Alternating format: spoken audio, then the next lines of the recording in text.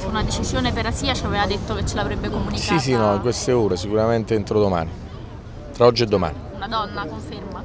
Sì, dovrebbe essere un presidente donna, un collegio a tre, io vorrei chiudere oggi, se non è oggi è domani.